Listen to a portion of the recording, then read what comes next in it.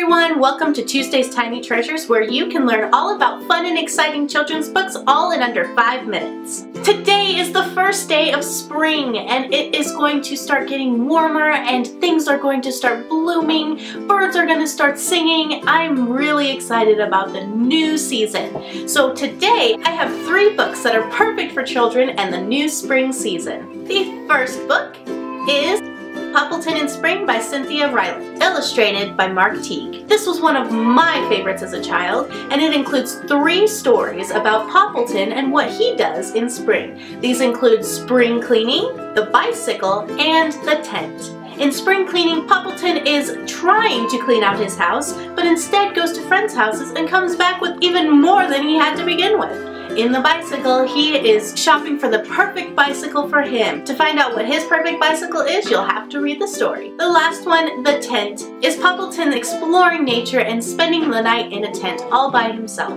His friends question why he does it. His explanation is that he can see even more when he is in nature than he can inside. Book number two is Abracadabra, It's Spring by Anne Sibley O'Brien, illustrated by Susan Gow. This book shows all the things that disappear in winter but reappear in spring. Hence, the abracadabra it's spring. This book includes lift the flap pages with beautiful illustrations. Each page shows the winter side and when it's open, what appears in spring. Not only is it a great story, but it has beautiful illustrations to go along with it. The third and final book will be loved across kids of all ages, and if they're anything like my kids, they love Paw Patrol. This one is Spring is Everywhere. Kids can explore the great outdoors with their favorite characters from Paw Patrol, Bubble Guppies, and Blaze and the Monster Machines in four great stories all about spring. If you would like to get any of these books for your kids this spring, I will be posting links in the description box below. Be sure to like this video and I would love to hear any recommendations on spring books that your family reads as well.